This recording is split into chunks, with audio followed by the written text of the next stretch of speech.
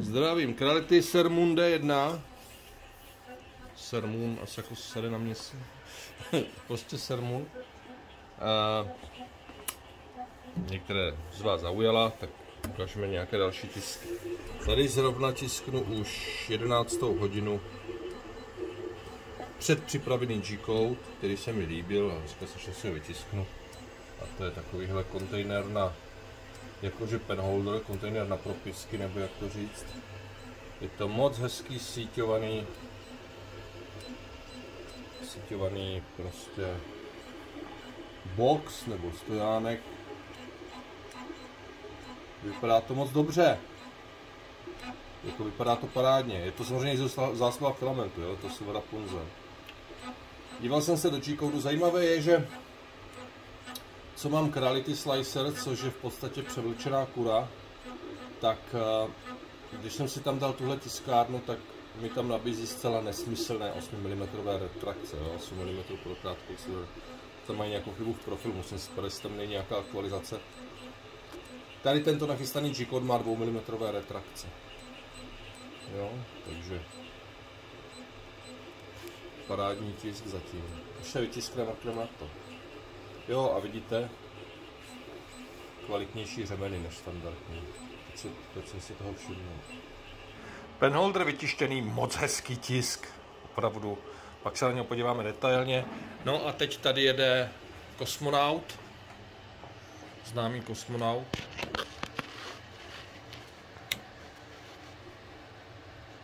Až se vyjede, tohle je naslajsované normálně v Simplify 3D na nějaký obecný profil, co mám pro krátký extrudér, eh, akorát jsem tam dal do start scriptu, co oni mají přednastavené vlastně eh, jerk a akceleraci. A až se to vytiskne, tak to tam pustím ještě jednou. Tohle je vrstva 0,2, bude to tak 3 hodinový tisk. A pak to mám naslajsované ještě jednou ze sliceru Idea Maker, což je fantastický slicer, nebo výborný slicer Idea Maker a tam je to na vrstvu 0.15. Tam jsem použil tiskový profil od 3D Beginnera, 3gbeginner.com, který, dělá, který má oblíbený tento slicer, dělá do něho profily pro některé tiskárny a já jsem se ho dál ještě trošičku upravil. Tak na to budu taky... Tak, tady astronaut byl vytištěný, jak se říká, 20 mm vrstva, sliceováno v Simplify, sliceováno v Simplify 3D, standardním nějakým nastavením. Silver Rapunzel. Natočím to i takhle kolmo ke světlu. Je 10 mm.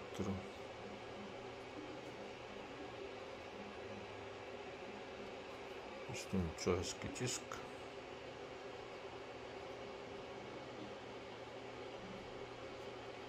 Tady je šef. Věc sliceru, ne tiskárny.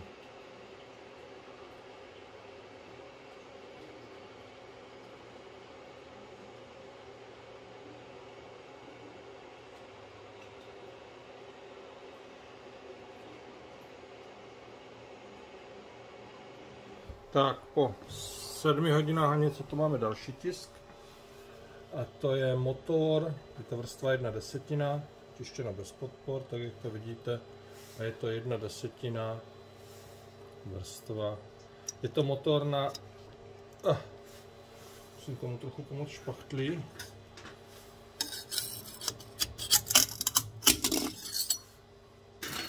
Motor na Albatros D5 od 3D Lab Printu.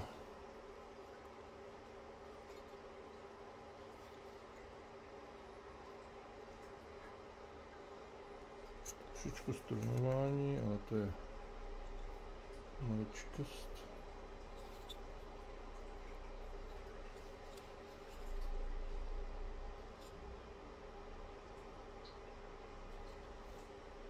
Hm, hezky. Teď jsem toho panáčka naslajsoval v Idea Makeru, super sliceru, někdy si možná o něm něco řekneme, kde jsem použil relativní výšku vrstev, to není žádná specialita Idea Makeru, to mají jiné slicery, a když si tady dám zobrazit výšku vrstev, Tak vlastně je to nějaký 7-8 hodinový tisk, tenhle panáček.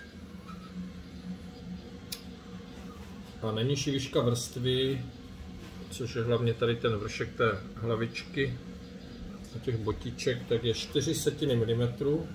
Tak to jsem zvědavý. A jinak je to většinou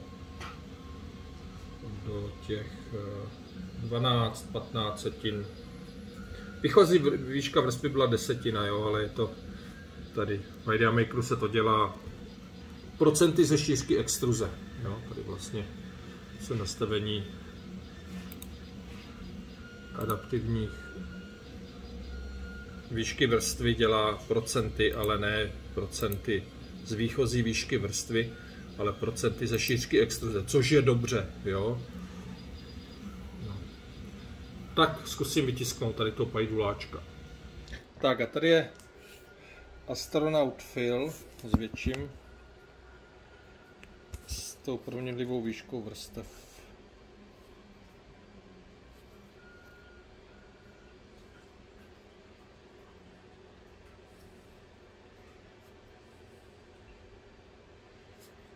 Tady třeba ten skok zrovna přes to hledí. Tam by bylo lepší, kdyby k té změně vrstvy nedošlo, ale zase upozorňuji, díváte se na velkou zvětšení. Tady nahoře je výška vrstvy 4 setiny. Je to 0,04 až 0,1 vrstva.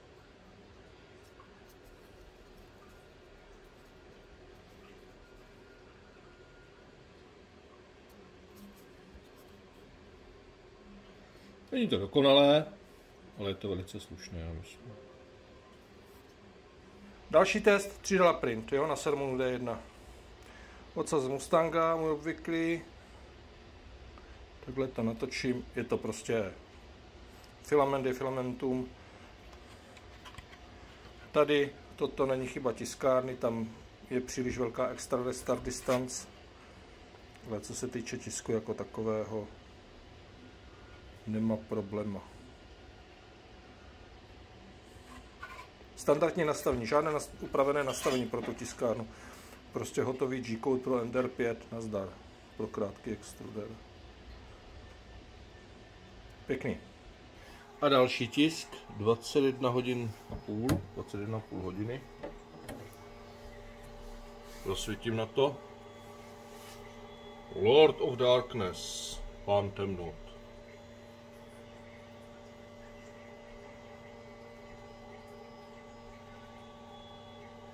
Vypadá to parádně.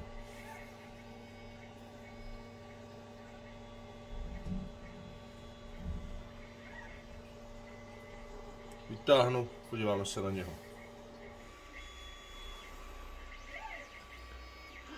Zase sliceováno v Ideamakeru, doměrlivá výška vrstvy. Tady, no, budu muset to rozmezit těch vrstev omezit, tady je to dobrý. Ale třeba tady na té zadní straně je to vidět. A ona tam je prostě časová úspora, no. Tady jsou vrstvy, tady jsou vrstvy 0,08 až 0,2. A takhle je to, je to hezký tisk opravdu. Dám tam palec pro měřítko.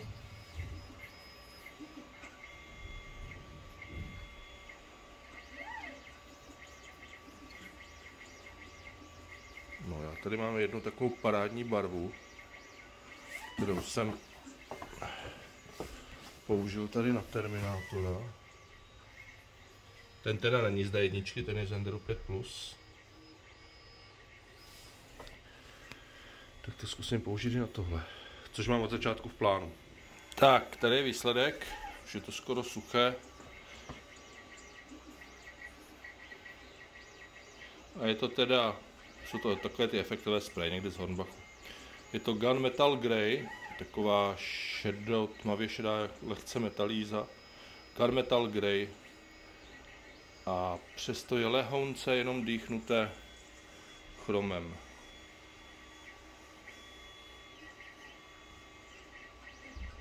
A je to tak, jak to vylezlo z tiskárny, jo, ty vrstvy tady vidět jako samozřejmě jsou. Ale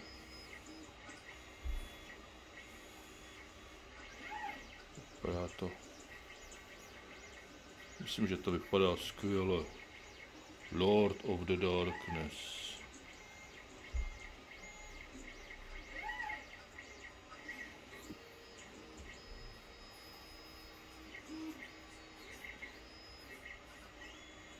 A filament byl, uh, jaký? Jo, ten. Uh, filamentum černý. Koukám, že jsem měl docela kliku, protože tolik filamentu tam zbylo. Skoro jednodenní tisk. Takže jo, tohle se ti docela povedlo, D1. Na to, že máš strašně zastaralý extruder a všechno je tam úplně špatně a displej vevnitř, jak jsem si zase samozřejmě dočetl na trubce, tak si myslím, že to docela jde. Tak, co tu máme na sermonu D1 dál? Pětihodinový tisk, vrtulový kužel, vrtulový kužel z ABS.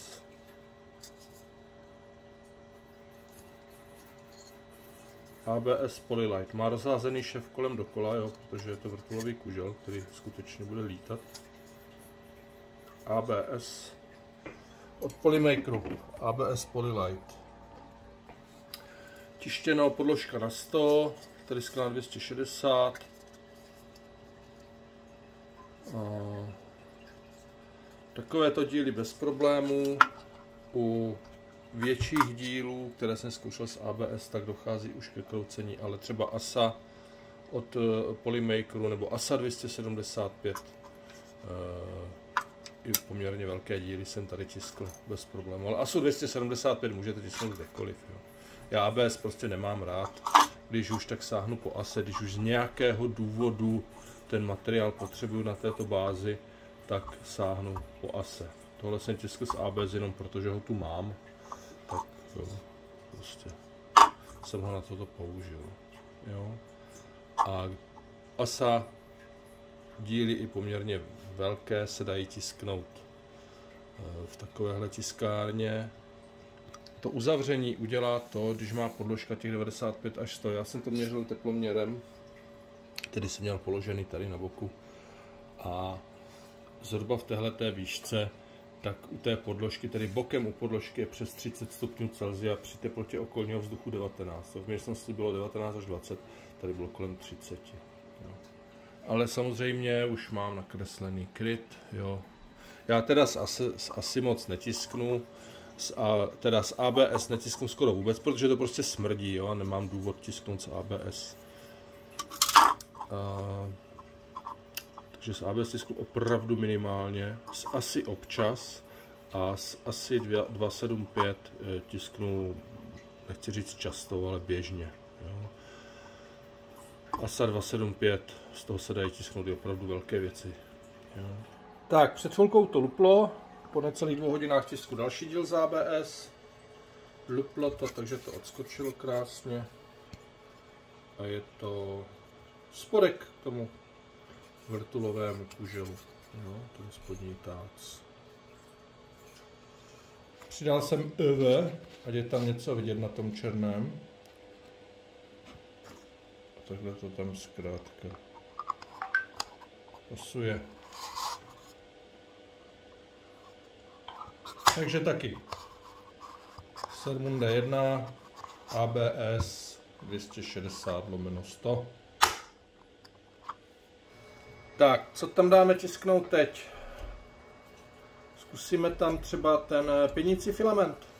Jo, vytisknu kousek. A je, vytisknu třeba kus křídla. Jo.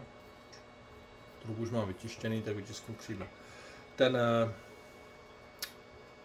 hodent, se říká, že je celokov, jak někdo upozornil, ano, je to pravda, je to takový ten polocelokov, eh, kde je vlastně ten, ten heat break je kovový, ale vevnitř vede teflonová trubička. Jenže někdo říká, že to je, jakože, že to je úplně stejné, jako když je teflon čistý, když je line jo, když je prostě teflon vůči trysce. Jenomže jde o to, že u klasických hodendů, jako je třeba Venderu 3, jo, nebo no třeba, já nevím, 500, prostě takové ty klasické hodendy enderácké, jo, krality, tak ten těsnící spoj dělá vlastně teflonová trubička vůči trysce. Když to v tomto typu hodendu, to utěsnění toho prostoru dělá ten celkový heat break vůči trysce.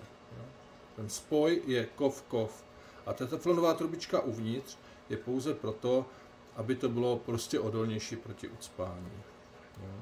Já stejně, jedna, která mám objednané, uh, uvidím, měly by pasovat uh, heat breaky, které jsou čistě celkovové. Jo. Za druhé, já stejně budu tady dělat zase svůj krátký extruder uh, s plným že, drive gearem bontekáckým a bude to pravděpodobně verze, ne pravděpodobně, bude to verze verze 5, jo, s tou planetovou převodovkou, jo, ten orbiter upravený, jo. Prostě upravím ten svůj orbiter tak, aby jsem šel na ty dva pojezdy, abych se tam mezi to dostal, aby tam šel prostě namontovat, takže ten motor bude výrazně menší. Bude to celé ještě výrazně lehčí. Jo. A bude to asi verze, nebude to levný, jo, protože ty díly tam budou některé tištěné na SLS tiskárně ze spekaného nylonu, jo, takže um, Určitě to časem vyvinu. První to budu dělat na CR600, a pak to budu dělat tady pro tuto tiskárnu. A, ale i tak, jak to je, to tiskne. Jo, a tiskne to moc hezky. Takže já tam teď jdu dát zkusit něco.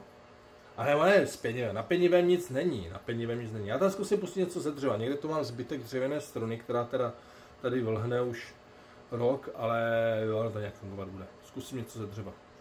Bude to teda chlupatý, ale prostě zkusíme. Ona 0,4 pro dřevěný filament je tak, tak, ale zkusíme. Zkusíme to ucpat. Tak, našel jsem zbytek dřevěného filamentu, Kolidot. Ten filament je starý snad fakt 5 let. 4-5 let, nevím, dlouho, roky, roky. Takhle ležel, rozbalený. Rozhodně není vysušený a už je určitě prostě starý strašlivě strunuje, což těm, čemuž jednak dřevěné filamenty většinou, ne vždy, ale většinou mají, já tisknu dřevem minimálně, ty dřevěné filamenty k tomu mají sklon, ale tenhle je navíc prastarý, ale je to Baby Groot samozřejmě, zmenšený tisknu malinkého Baby Groota. Ono se to pak obere drátěným kartáčkem, trošku se to začistí, to bude dobrý. Tak, po necelých 4 hodinách nám sermon z dřevěného filamentu, takzvaného vytiskl tady toho grůta. Pojď. No. Ještě drží, ještě musím chvilku počkat. Nechci nic ulomit, potřebuji na to druhou ruku. Dá to moc hezky. Tohle, jasně, prostě to strunatí jako prase, je to starý filament, ještě k tomu dřevěný. Ale to se obere, uvidíte, to je koukat, to je koukat. Tak, tady je Baby Groot vytištěný. Vrstva, tuším 14 setin. Opakuji dřevěný, ještě tady nahoře, to musím trošku probrat. Můj prst pro porovnání, jo. Dřevěný filament, Trisko 04. Starý dřevěný filament. Baby Groot. I am Groot. No já ještě trochu pošulichám. Tak, Baby Groot je tady, trošku jsem ho jakože ušpinil, jo, a tak, prostě, aby měl trošku pat, pat, no, patinu, prostě, aby nebyla ta barva taková jednolitá, to jenom vodou ředitelnou barvou, trošku puštěné do spár, pak vyšklebané kartáčkem, žádná zázrak, žádné hraní, navíc nemám braille, takže, no. Takže Baby Groot, tištěný na Sermon D1. Tady mimochodem jsou motory, hlavy motorů, válce a hlavy motorů tištěné na Enderu 5 Plus Silver Punzel, Silver Punzel, Silver Punzel, nějaký oranžový. Někdo mi to posílal, že to nejde vytisknout. jsem řekl, že jo. Tady nahoře je, tuším, čtyři setiny vrstva. Je to z modelu Vaco od 3 printu, doporučuji, nádherné letadlo.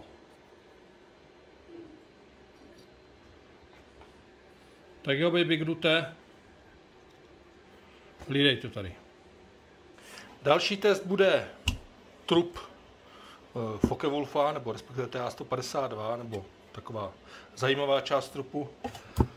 Použiju na to, dostal jsem na testy uh, jedné slovenské firmy filamenty, které budou prodávat, tak uh, mě vyzvali, nebo jak to říct, prostě mi poslali nějaké vzorky, zatím PLA, PTG, abych to vyzkoušel natočil o tom případně video, takže ho vyzkoušíme, použiju to tady teď na ten trup, eh, nebo část trupu TA152 3D printu, protože samozřejmě tiskárnu Sermon D1 si určitě bude chtít koupit i někdo, kdo chce tisknout letadla, takže vyzkoušíme samozřejmě taky. Ale to až v příštím videu. Tak, Sermon D1 nám tady tiskne už tři kousky trupu TA152 od 3D printu. Na to se pak podíváme někdy v příštím videu. A tím toto video, toto konkrétní video o této tiskárně a ze vzorky toho, jak tiskne z různých materiálů, považuji za ukončené. Jo? A tímto taky tuto tiskárnu zařazuji oficiálně do prodeje. Nemyslete si, není to zdaleka samozřejmé. Jo? Jsou tiskárny, které ani nevidíte ve videu, které mi projdou rukama, já je zase z díky vrátím a obě strany se na to pak radši snaží zapomenout. Prostě bez obav tuto tiskárnu doporučím třeba i začátečníkům. Začátečník, který má třeba lobě do kapsy, anebo do toho prostě nechce vrazit víc peněz, tak tomu s klidným srdcem doporučím třeba Ender 3V2, anebo tady CR6 SE, což v současné době pro mě je z mé nabídky král nabídky do 10 tisíc. Jo. Tiskne za ty prachy famózně. No a ti, kteří se nebojí do toho na začátku třeba vrazit víc, anebo chtějí prostě větší tiskový prostor, nechtějí letající podložku, chtějí typ Cube, jo, podložka jezdí nahoru dolů, chtějí nějakou prostě hezkou, ta tiskárna je hezká, jo, chtějí nějakou hezkou tiskárnu, takže samozřejmě je to subjektivní, jo, tak eh, klidně doporučím i začátečníkům tady tuto tiskárnu. Tady ještě bude jiné vedení filamentu, jo, to bude v příštím videu. Já jsem to tam teď zapomněl dát a už to kvůli tomu stopovat nebudu, tohle je prostě tragédie, jo. To se tam musí předělat. Časem bude 3D tištění překryt nahoře s takovým poklopem, aby se to dalo nahoře otevřít, proudření tepla vevnitř, jo, Eh, tam pak bude display na jiném místě, aby nebyl vevnitř. Časem bude i krátký extruder verze 5, tedy s orbiterem, upravený speciálně na tuto tiskárnu. Eh, bude tam že jo, plný celokov a tak dále. Ale není to nic urgentního, jo? mám urgentnější věci na vyřešení, takže až se to dostane na řadu, a bude to určitě x měsíců, jo, než se to dostane na řadu. Ale proč to není urgentní? No, protože tomhle extruderu jako nic není, jo? Jasně, není tam bontek, jako nejsou tam bontek kolečka, není tam full celokov, ale jenom polocelokov, ale to je věc jenom heatbreaku. E, nemá to to správné logo samozřejmě. Čili tohle všechno chápu, ale prostě to tiskne a o to myslím si, že jde především. E, takže až přijde čas, bude i Extruder verze 5.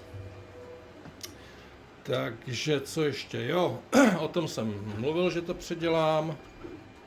O boudě jsem taky mluvil, o displeji jsem taky mluvil. Časem, až bude ověřený jiný firmware, dáme jiný firmware. Ale prostě v tomhle stavu, tak jak to je, je to normálně funkční řešení. Co bych za to dal, když si začínal 3D tisknout, kdyby mi někdo nabídnul něco takového.